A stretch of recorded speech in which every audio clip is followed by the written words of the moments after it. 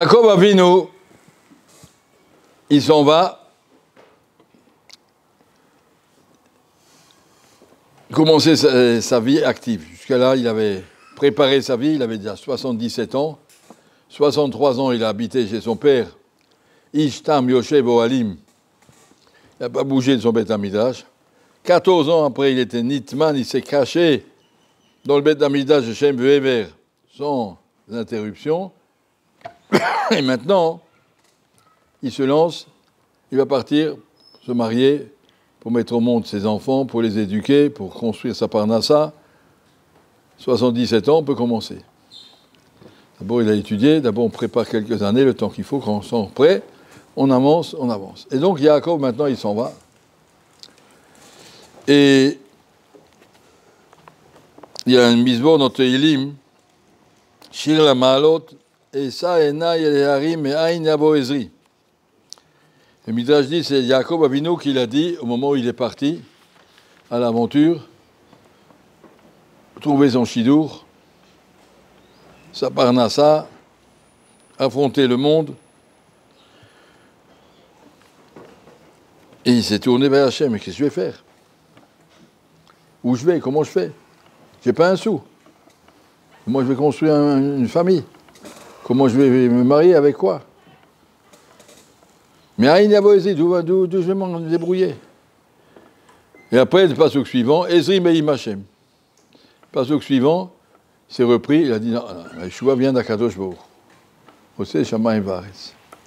À la question que tous les Mefarshim demandent, c'est ça qu'il a, il a vraiment été un petit peu pe- perdu, le pauvre, il va se marier avec comment je vais me débrouiller. Quoi. C'est très bien. On m'a dit à la paracha la semaine dernière, Yaakov a dit à Yitzhak, tu as bien vu Akadosh Baruch s'occuper de toi pour t'envoyer un korban au moment où tu étais sur la Hakeda, pour t'envoyer un chidour au moment où Eliezer arrive, pour t'envoyer à manger au moment où tu as besoin. Hachem s'occupe de nous. Jacob, il savait tout ça. Comment ça se fait qu'il s'est déstabilisé un petit peu? Deuxième question, le Mefarshim demande. Quand il est arrivé à l'endroit du Beth Amikdash, par la suite, il a rêvé là-bas le Soulam avec les Malachim. Baruch lui dit Je te protégerai. Qu'est-ce qu'il a fait avant de dormir?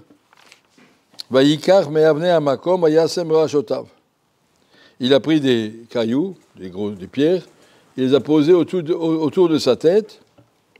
Là, il s'est couché. Rachid dit Hassan, que min marzev suivre au chaud. Il a posé ses pierres tout autour de sa tête. Chez Yarem, chayot raot.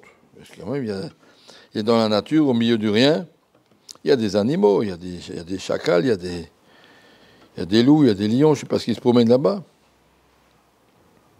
Et la question est, si Bémet c'est un endroit dangereux, pourquoi il met des pierres autour de sa tête? Il pourrait mettre des pierres autour de ses pieds aussi, autour de son ventre, autour de tout.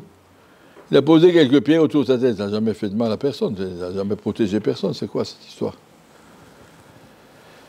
Alors, les Mefarshim m'explique, Yaakov Avinu, il sait très bien que celui qui marche dans le chemin d'Hachem est protégé. Je n'ai pas, peur. Il a dormi tranquillement. Il a crié, à Tshema à la mita, et puis il a dormi.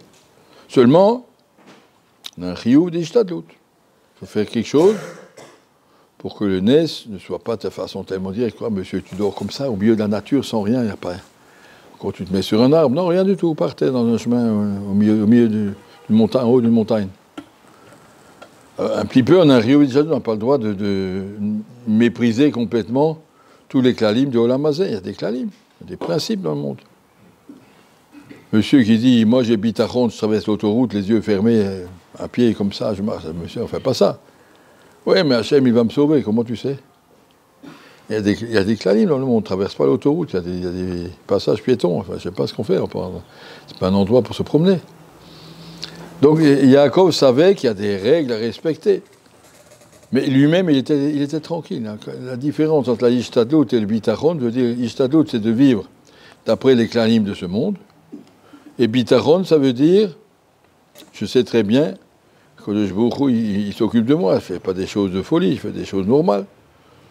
Un bonhomme, il dit, je vais sauter par la fenêtre, Hachem n'a qu'à me, me ram- me ramasser. Ça ne fait pas ça. Fais des choses normales, descends avec les escaliers, mais quand tu descends les escaliers, tu n'as pas besoin d'avoir peur que peut-être au milieu de l'escalier, ça va. Tu vis avec les choses normales. Yaakov il s'occupe de toi. Donc Yaakov Avinu a dit si je ne fais rien, en haut de la montagne, je me mets sur une montagne que je ne connais pas, c'est par hasard, c'est l'endroit du Beth mais c'était une montagne complètement désertique, il n'y avait rien. Il ne fait rien, c'est se, moquer de, de c'est pas sérieux. Un homme normal, il fait quelque chose, il faut, s'organiser d'une certaine façon. Je ne saute pas par la fenêtre, je ne descends pas les escaliers. Donc Yaakov a dit il faut faire quelque chose. Mais plus que quelque chose, je ne voulais pas faire, ce n'est pas nécessaire. De toute façon, je suis tranquille, je suis dans les mains d'Hachem. Alors maintenant, quand il est arrivé pour prier pour son chidour, qu'est-ce qu'il a pour son avenir? Et ça, il arrive, mais Aïn Yabo Ezri. Comment je vais faire? La question n'était pas qu'est-ce qui va m'arriver? Ce qui va m'arriver, il est honoré, marque de lui dire je suis avec toi, ou je te protège là où tu vas. Donc sa question était quel doute je dois faire? Mais qu'est-ce que je dois faire? J'arrive pour me marier, j'ai même pas un sou. J'ai pas de métier, j'ai rien, j'ai 77 ans de Torah dans ma tête. J'étais Jacob Avinu, toute sa madriga, mais au niveau de la un homme il doit faire quelque chose. Qu'est-ce que je fais? Ça, c'est la. Ça, c'était la Ce C'était pas qu'il était angoissé. Il y avait une question, mais qu'est-ce qu'il faut? Je, fais quoi? Après, il s'est dit bon, il n'y a rien à faire, alors on laisse faire, on laisse Akadosh le faire, le reste, plus que je fasse.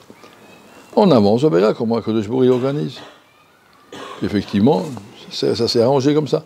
Ça veut dire que l'homme doit faire une doute, mais savoir tranquillement. De toute façon, Akadosh Baruch il s'occupe de chacun qui est sérieux, tu veux être sérieux, laisse le faire, laisse Akadosh vous gérer. Mais toi, tu dois faire quelque chose. Je vous raconte, j'ai déjà raconté, quelqu'un, le Michael de Levkovitch, un des Talmidim du Chazonich. Après son mariage, en chez Babaot, il il a dit Je fais quoi maintenant pour ma parnassa? Jusqu'à là, j'étais Bahour à la Yeshiva, il étudiait un très très très bon Bahour. Et bon, maintenant il se marie, alors euh, comment je vais faire? Chazonich lui a donné, il, il, il a donné quelques pépins de son étrogue. Ça, c'est mon étrogue. Tu vas le planter dans ton jardin, ça va te pousser un étroguier, tu les vendras avec ça, auras une parnassa. Et il dit, je connais pas moi comment on fait pousser des étroguim. Il a dit, tous les matins, tu prends l'eau de Netilat et tu verses sur, le, sur les pépins. Et comme ça, il a fait. Et puis effectivement, c'est sorti ce qu'on appelle aujourd'hui les, les de Rav Levkovitch les Trochim Chazonich, qu'on appelle les plus recherchés, sur une histoire qui n'a pas de sens. Tous les agronomes disent que si tu verses de l'eau sur tes pépins, ça ne va jamais sortir un arbre. Faut creuser, mettre des engrais, suivre, couper, élaguer, mettre des, insecticides. Rien du tout. Tu fais une tu fais quelque chose. C'est normal. Le reste, c'est d'Akadosh Plus un homme est clair dans son bitachon, plus sa histadout est petite. Si quelqu'un s'accroche à sa alors il va prendre des livres d'agronomie, comment on fait pousser des troguim, et comment on soigne des arbres, et comment et quelles sont les maladies, et comment il faut faire. Et D'accord Mais lui, il a dit, je ne compte pas sur euh, l'agronomie, je compte sur... Kadosh il veut que j'étudie la Torah. Et puis euh, voilà, Oskim Torah sont Pturim Ishtadlut. Fais quelque chose, juste quelque chose. Ça, c'est pour nous, pour savoir Benataim, on va faire comme Yaakov Abino. Pendant 77 ans, on étudie. Après, on verra. Tu t'occupes de rien. Quand tu te sens que tu es prêt pour affronter le monde, tu affronteras le monde et tu verras que jour il t'aidera à réussir ta vie. Tout le monde, tout réussit finalement. J'ai vu personne, l'oralité de Sadik Nezav. J'ai jamais vu quelqu'un qui meurt de faim, il fait, son chemin, que jour il n'oublie personne.